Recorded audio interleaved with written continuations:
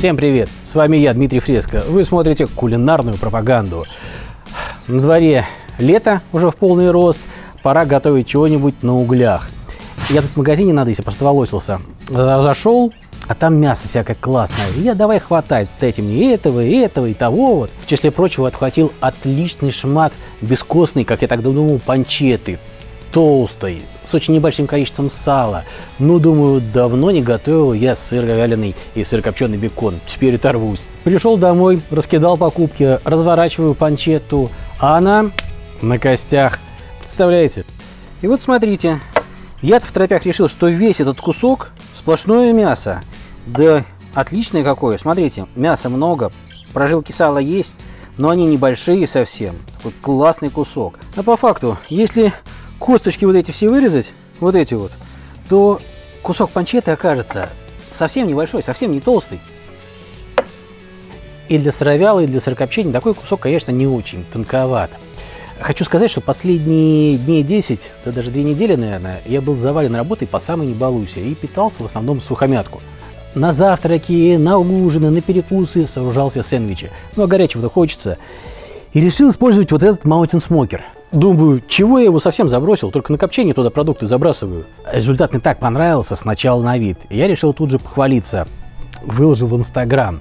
А, разрезаю, показываю тоже в Инстаграме, как оно получилось. Попробовал, а там вкус такой, такая сочность, так классно получилось. Но я, естественно, тоже в Инстаграме задаю вопрос. Надо такое снимать на полноценный ролик или слишком все просто? Большинством голосов приняли решение, снимать надо. Все очень просто, дико просто. Поехали. Вот у меня половинка. Шкурка у нее была срезана еще в магазине. Это тоненькая такая прослоечка, и здесь слой мяса. Как дело-то было? Вчера вытащил из холодильника, посолил, думаю, заброшу, сейчас приготовлю. Потом смотрю, ну, многовато будет мне одному. Поэтому половину отчекрыжил, сразу приготовил, а вторая половина вот до сегодняшнего дня в холодильнике лежала.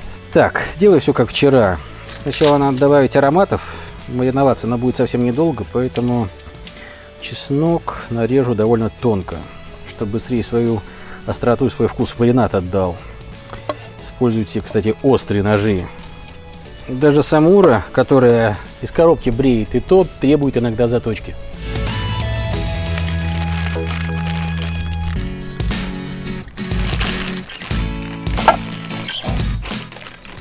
Еще в этот пакетик отправляю несколько веточек свежего розмарина.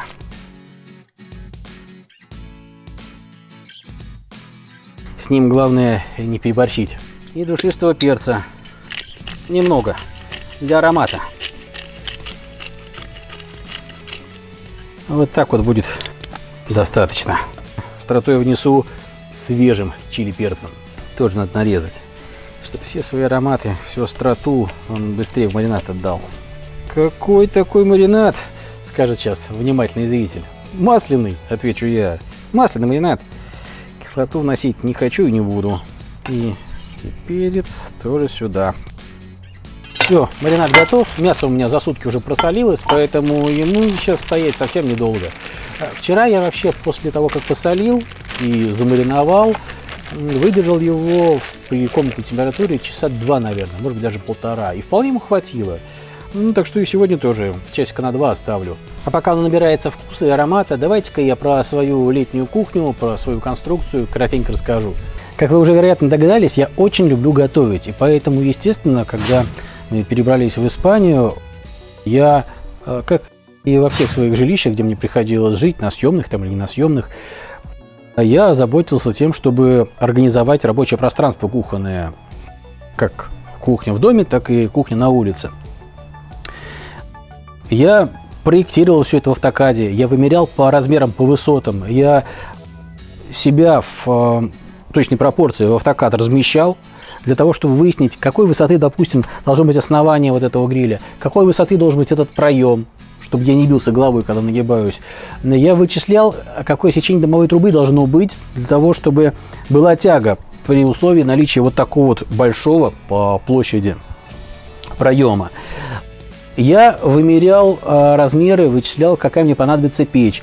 И скорлупу печи глиняную покупал здесь готовую, заказывал и везли ее на машине. Доставка здесь достаточно недорого стоит, так скажем, где-то из-под Мадрида везли, не суть важно. А утепление, все это основание, все, утепление купола, утепление дымохода и прочее, все дело рассчитывал сам и делал что-то сам, что-то приглашал специалистов. Из Украины, кстати, здесь ребята мне многое по ремонту делали, за что им большое спасибо. Что-то я их научил делать, например, вот, вот эти вот вещи. А, так вот, в результате я создал себе удобное пространство для готовки. Мойка со столом, с выводом в канализацию. Здесь рабочая поверхность реально большая. Она вот так в ширину, наверное, почти 70 сантиметров. А вот так, ну, добрых 2,5 метра.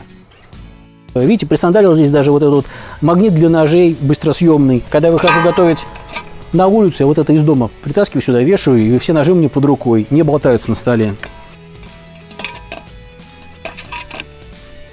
В результате у меня вот такая оборудованная кухня, как я уже сказал, с мойкой, выведенной канализацию, с дровяной печью, с вот таким мангалом.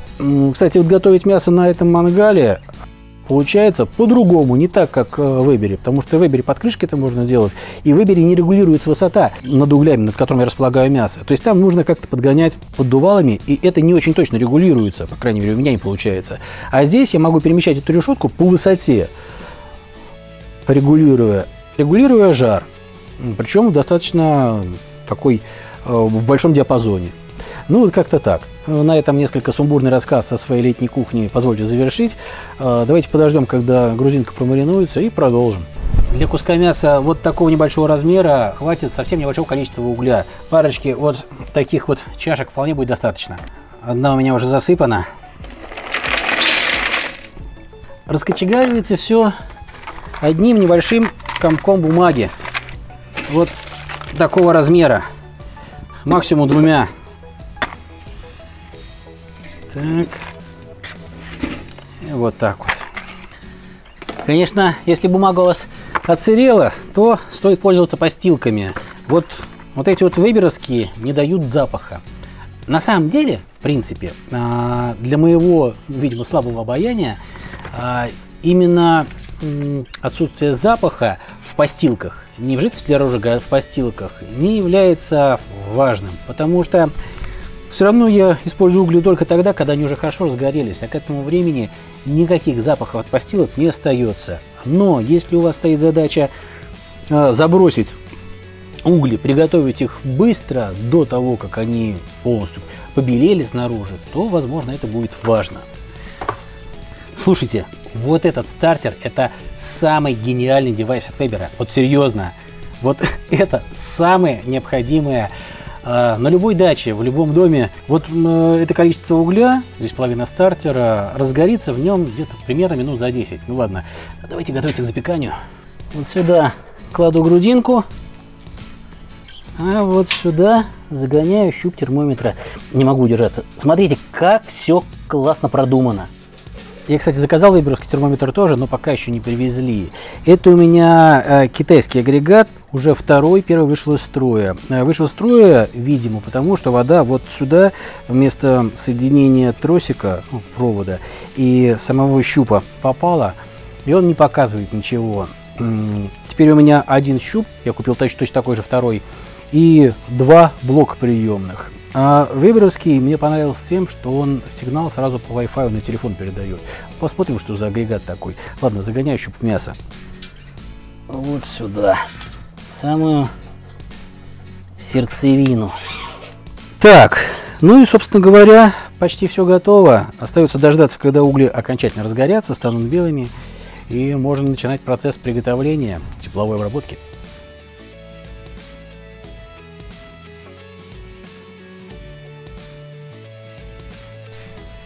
Угли уже дошли до кондиции, так что высыпаю их.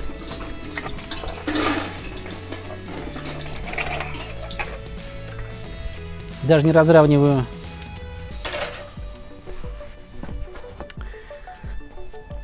Эту конструкцию сюда.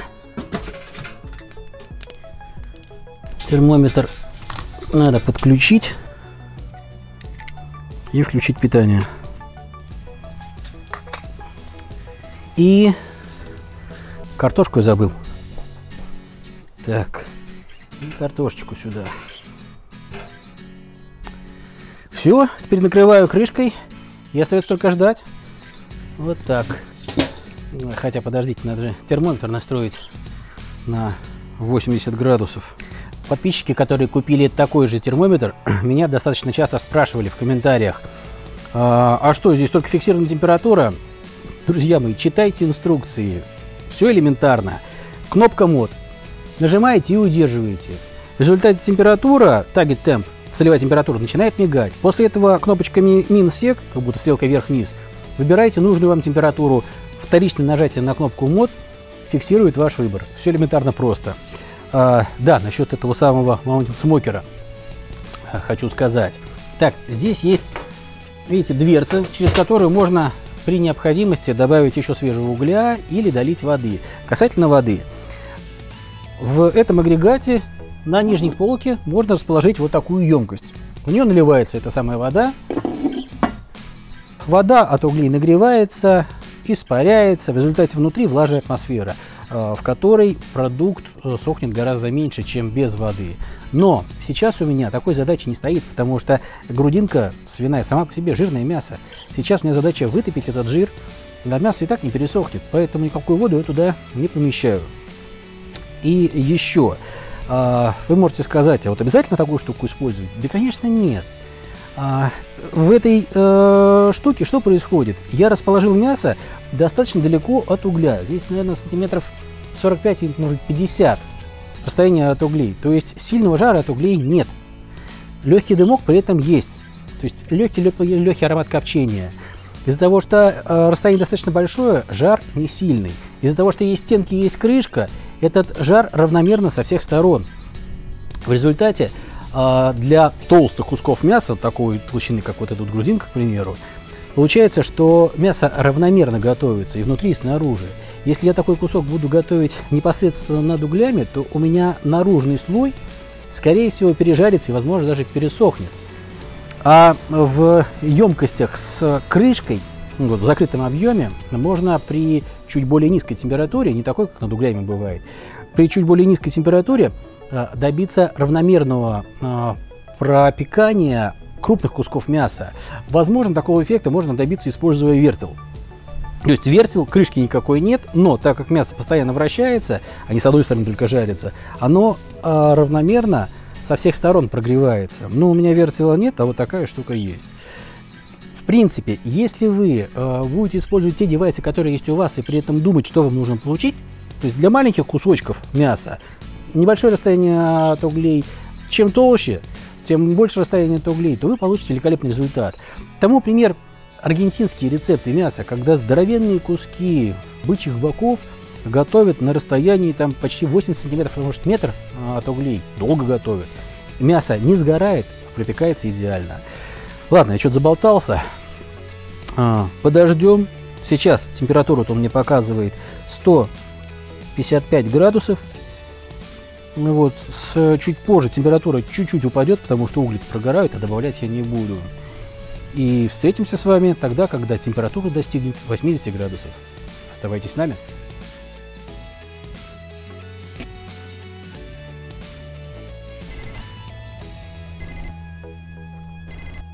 Итак, все почти готово.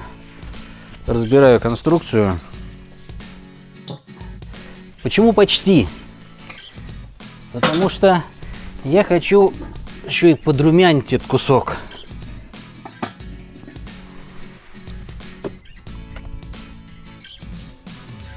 угли слегка разровняю.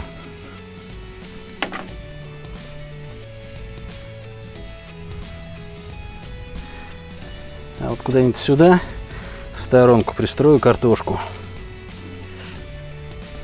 И вот сюда мясо.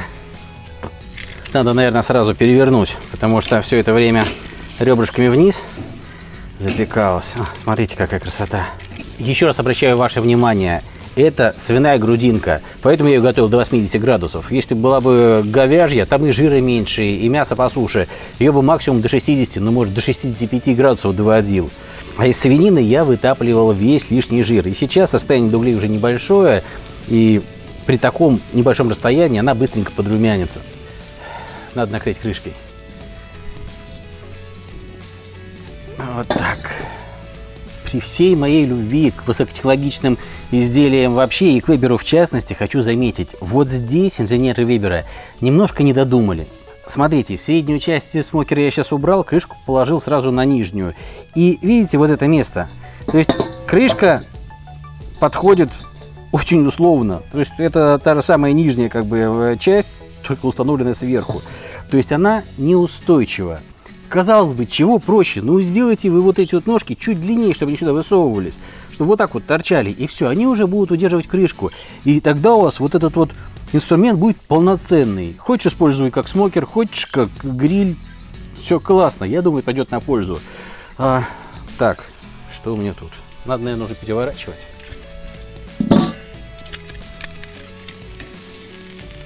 Ой, какая красота. Посмотрите, просто посмотрите на это. Просто обалдеть. Все, я думаю, пора снимать. Вот так вот.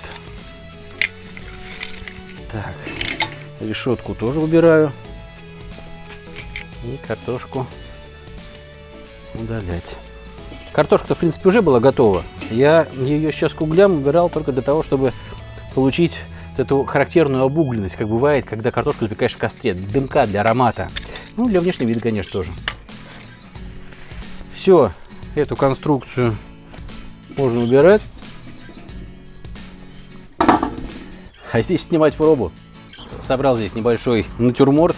Так.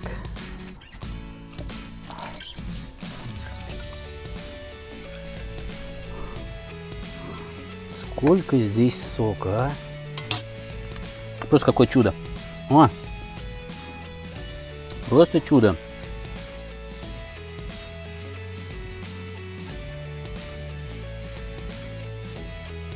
Так, ну и пора чекрыжить кусочек. И вот такой замечательный кусман я отправляю в рот. Чудовищно вкусно. Вот это элементарно просто но чудовищно вкусно. Вся фишка просто не испортить мясо. То есть не дать ему по всему объему пересохнуть. За счет того, что ну, в этом агрегате мне удалось разместить мясо на достаточно большой высоте от углей, и стенки и крышка помогли со всех сторон этот жар равномерно подавать к мясу. Мясо получилось просто потрясающе сочным. Эти картошечки тоже. Ну-ка, печеная ароматная. М -м. Класс, как из костра. Еще кусочек мяса, с вашего позволения. Ой, аромат чеснока, аромат розмарина, очень-очень тонкий, необыкновенно просто. Слушайте, приготовление пищи приносит удовольствие не только в момент поедания, но и в момент готовки, а также в момент придумывания каких-то новых рецептов, пусть даже не рецептов, но приходит в голову мысль, а если взять то-то и вот по такой технологии пытаться его приготовить? Поэтому как можно больше творите на кухне. Это действительно классно. Мне так хочется, чтобы вы испытали вот эту самую радость творчества. Это, это даже лучше, чем есть такие куски мяса. Спасибо за компанию и всем пока.